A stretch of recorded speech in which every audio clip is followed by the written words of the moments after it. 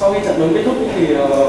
chủ tịch Vũ Thắng có cũng như ban huấn luyện cũng khá là bực tức khi mà uh, trong những giây cuối cùng thì các cầu thủ đã không tận dụng những cái thời gian ít ỏi lại để uh, chuyển bóng vào trong vòng cấm để tạo những cơ hội để thay vào đó lại cứ uh, đơn chuyển bóng giữa sân thì ông đánh giá là về điều này? Thì cái đấy thì chỗ anh thắng cái đấy tức là đúng thôi nhưng mà đấy là là cái kinh nghiệm thi đấu thôi tại vì lúc mà những cái giây phút đấy thôi mà còn phối hợp nữa thì tôi nghĩ nó cũng không hợp lý. Tại vì lúc đấy là chỉ có những đường truyền bóng dài để tiếp cận cầu môn thôi, nhưng mà các bạn vẫn chưa phối hợp đấy thì đấy, quan trọng đấy là cái kinh nghiệm thi đấu của các bạn này thôi.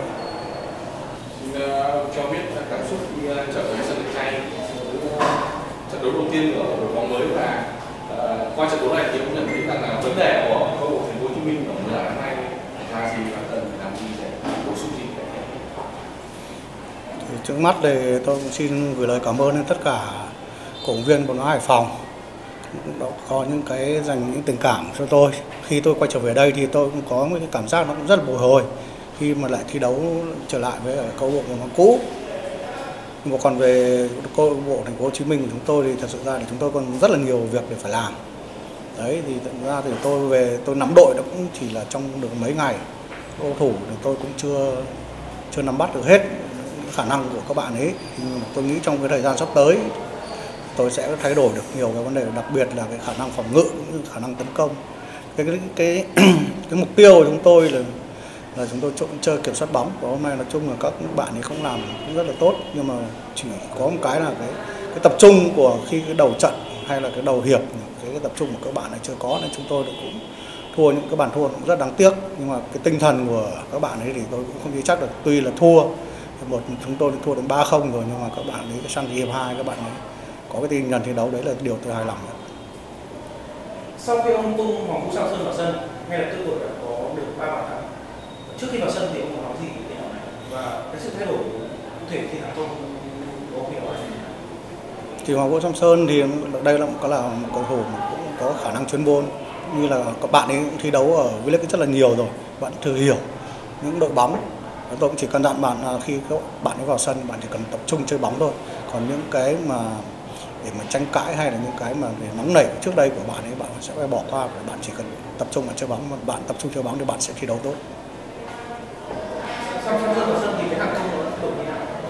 Thì lúc đấy thì chúng tôi đã thua rồi thì chúng tôi phải bắt, bắt buộc chúng tôi phải dâng cao lên để chúng tôi để chúng tôi chơi. Đấy thì đấy khi bắt đầu đấy vào đấy thì nó như chúng tôi đã đẩy trở thành là ba mũi thì cái khả năng tấn công của chúng tôi nó sẽ nó, sẽ có đầy đủ được cái lực lượng hơn. À, khi ấy thì vì lúc đấy đã, đã thua rồi mà chúng tôi có phòng, phòng ngự nữa thì cũng chẳng không giải quyết được vấn đề gì chúng tôi phải đẩy cao đội hình lên để chúng tôi chơi. Sự dây liên kết giữa Lý Nguyễn với các hai thì nào thì nào không? Theo đánh giá là tôi nghĩ là các bạn dần dần sẽ hiểu nhau hơn tại vì thực sự Giang Ly cũng sang cũng hơi muộn. Cùng với cả các bạn kia khả năng phối hợp tôi nghĩ dần dần tới trong tập luyện. Là các bạn sẽ dần dần các bạn sẽ hiểu hiểu ý được nhau và sẽ phục vụ tốt tốt cho đội bóng trong thời gian sắp tới. Huấn luyện viên Trương Văn Hoàng thì vừa có nói một ý rằng là đội bóng của ông thì sẽ chưa kiểm soát bóng trong tương lai. Tuy nhiên thì nhìn vào trận đấu này ờ, những tiền vệ trung tâm của ông thì không phân phối được nhiều bóng cho tiền đạo cũng như là ra hai bên vậy thì điều này sẽ được có cải thiện như thế nào?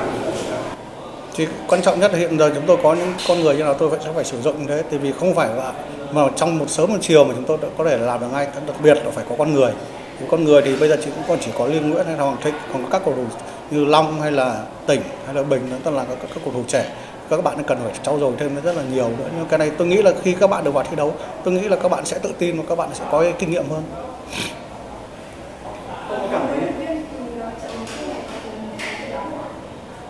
Thì thực ra thì các bạn có biết Hải Phòng là họ đang làm đội bánh mạnh và họ đang có phong độ rất là tốt cũng như là được sự ủng hộ của khán giả thì chúng tôi cũng xác định là chúng tôi, ra đây thì chúng tôi chỉ có lấy được một điểm thôi, nhưng mà tôi nghĩ là hôm nay Hải Phòng chơi cũng rất là tốt. Đặc biệt là vì Mario thật sự đây là một từ nợ rất là nguy hiểm.